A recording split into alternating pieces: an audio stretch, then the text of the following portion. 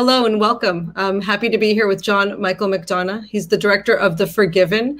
Uh, it's a film that's just world premiered here at TIFF in our gala program. Welcome, John. Thank you so much for being with us today. Thank you, Diana. So, I have quite a few questions about The Forgiven that I'd love to, you know, explore some of the the themes uh, that you that you portray in, in the film. And I wanted to begin with um, you know, talking about this. This is a no, um, an adaptation from a novel, and I was curious how you came to the project. I think the novel was published in 2012, which is a fair amount of time ago now. Since it was published, Lawrence Osborne has gone on to become a little bit more famous, I guess. Uh, I think virtually every book he's written since has been optioned. Uh, but we're the first one to actually get filmed. I knew somebody had had the option for a few years, and I didn't know what was going on with it because nothing seemed to happen with it. So I wrote Lawrence a letter, and he basically said he wasn't happy with, what was going on. So basically, next time it came up, we outbid the other person, took it on. Um, and at that point, things moved quite quickly because I write quite quickly. So I think the first draft was just a couple of weeks, and then another week for revisions, and we sent it out to Rafe Fiennes, and within a week he said yes. Of course, you know, scheduling with actors' uh, schedules and everything then kind of stalled uh, the project for a little bit, but it was still quite a fast process. Um, so we got, I think we got up and running from optioning the book, writing the screenplay, getting Ralph involved, scouting locations and everything within about two years, which is quite fast usually for that kind of project.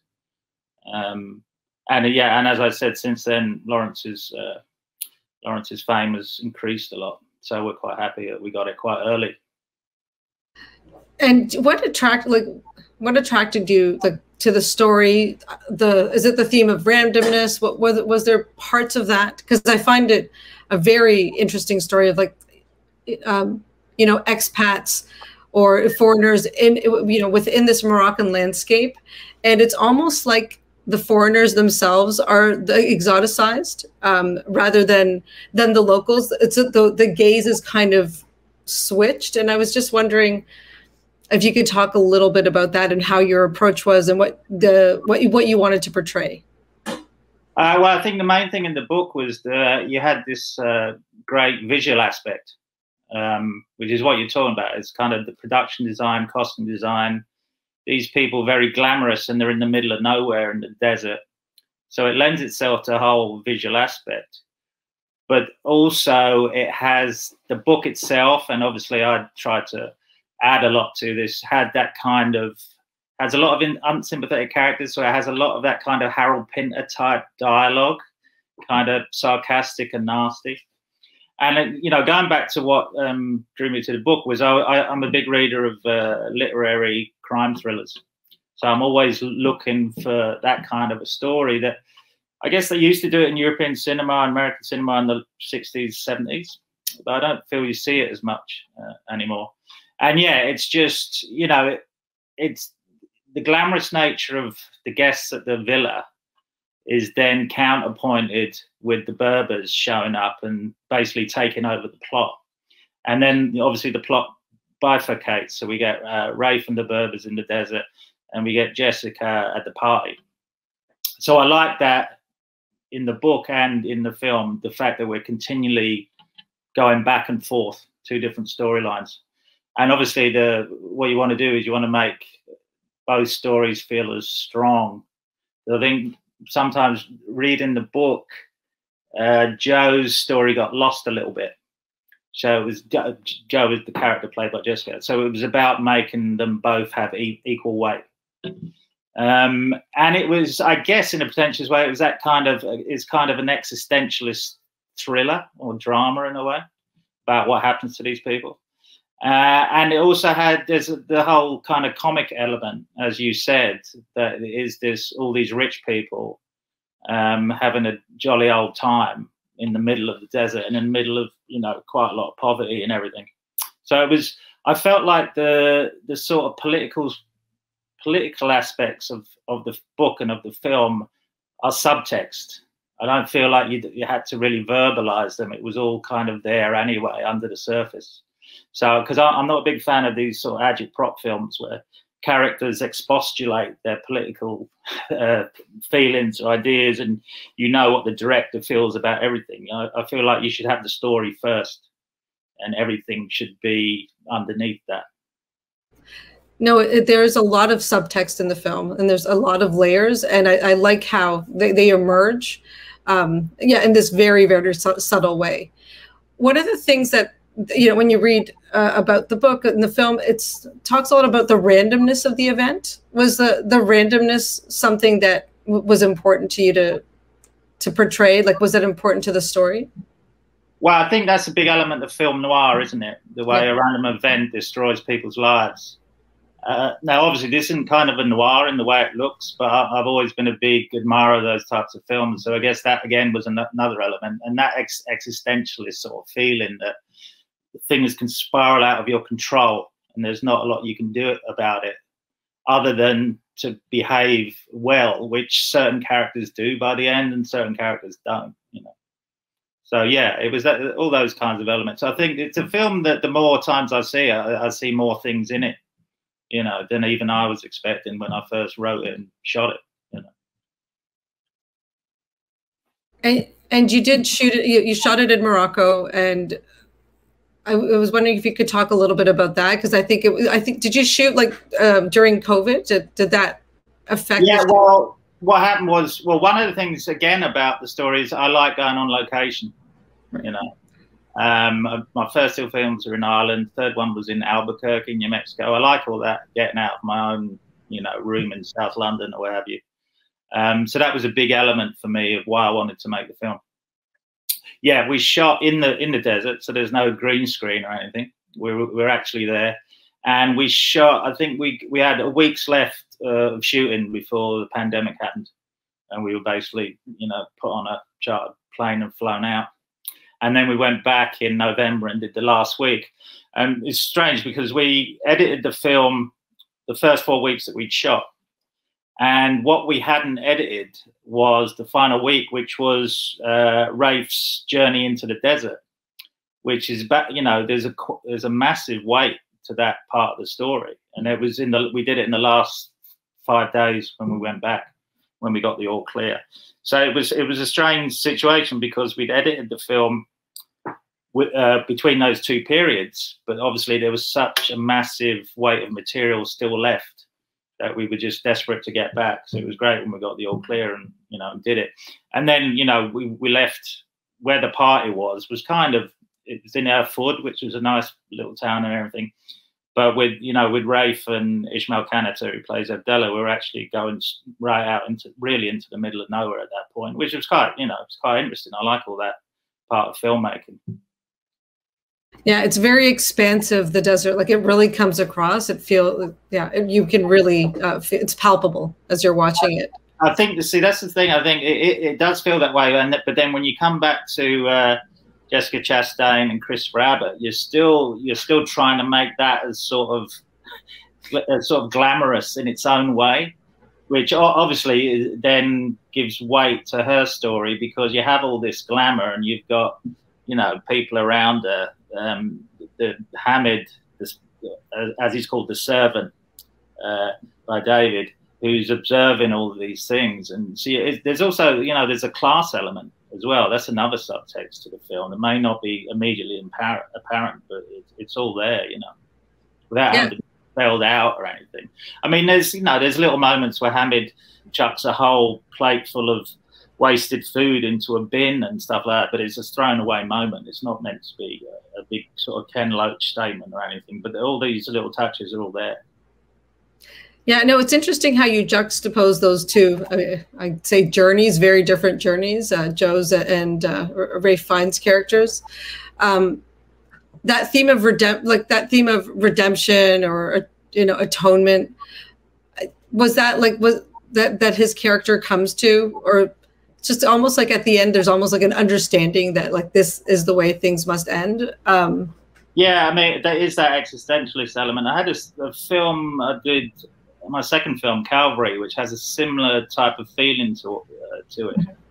Um, it's I think what's interesting about the film is that when it starts, obviously this is a, a marriage that's in disarray between um, Jessica and Rafe's character. The marriage is basically over at this point, and Rafe's character is, in a kind of cliched way, he's obviously uh, not very nice, and we kind of sympathise with Jessica.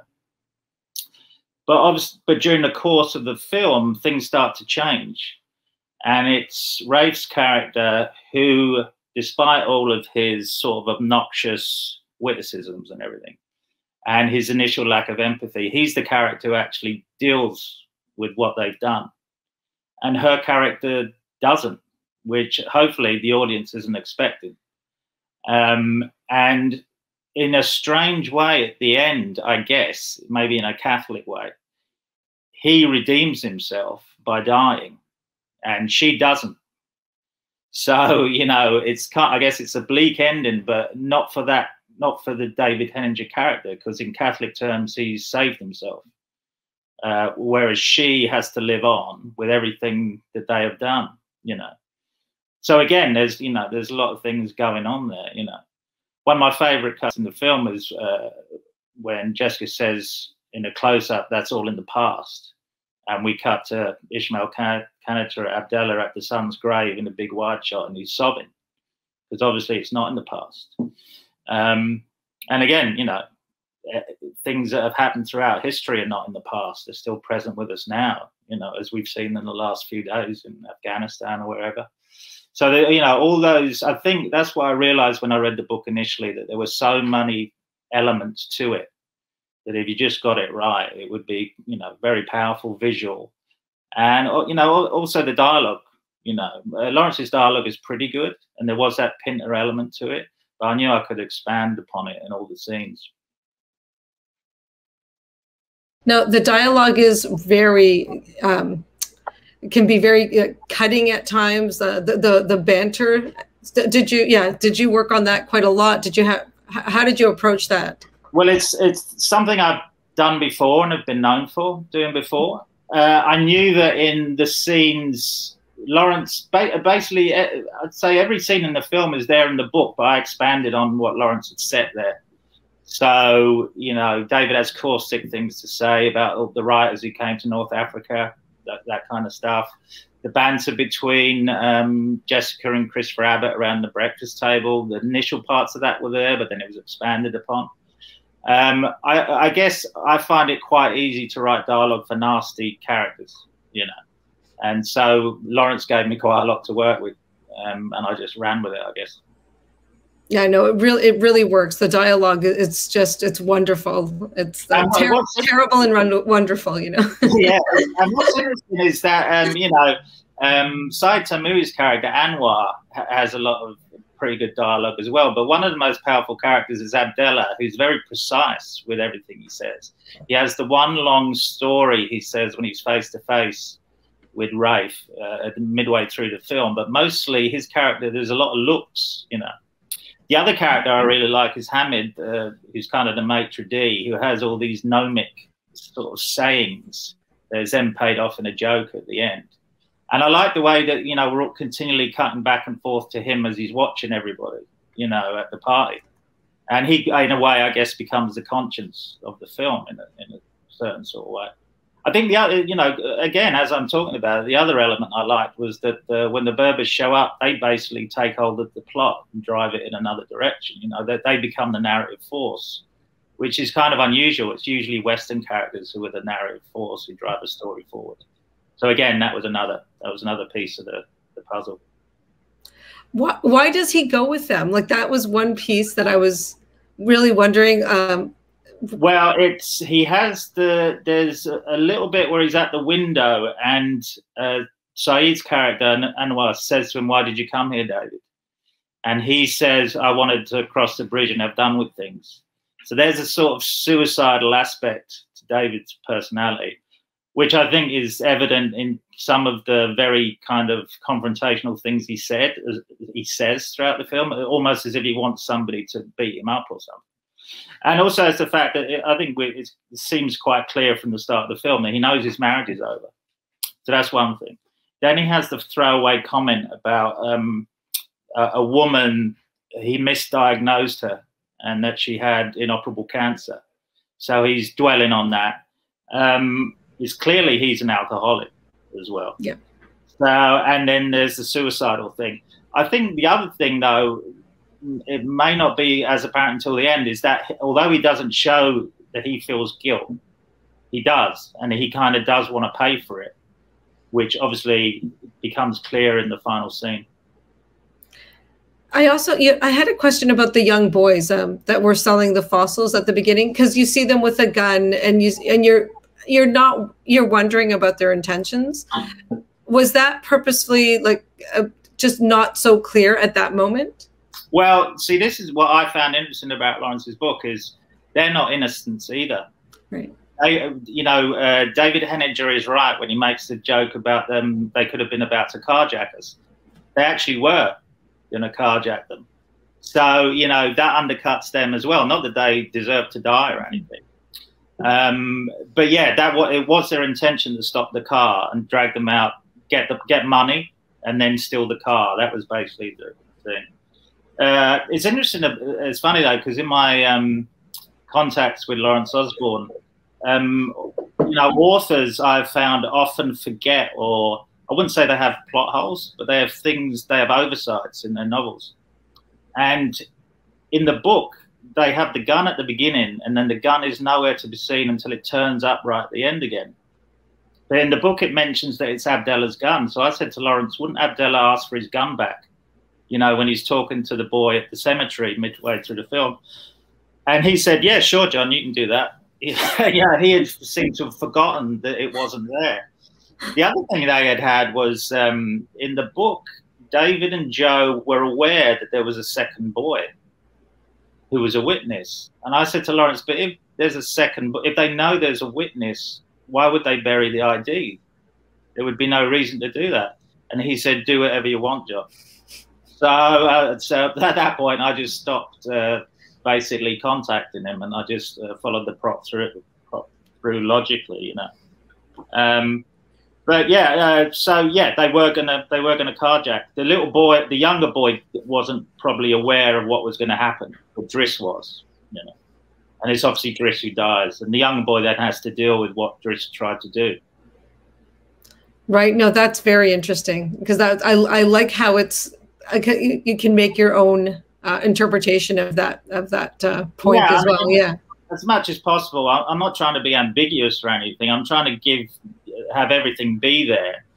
But I'm, you know, I'm not. A, I hate that kind of explanatory dialogue where everything is revealed to the audience. You know, it just you, you just have to pay attention.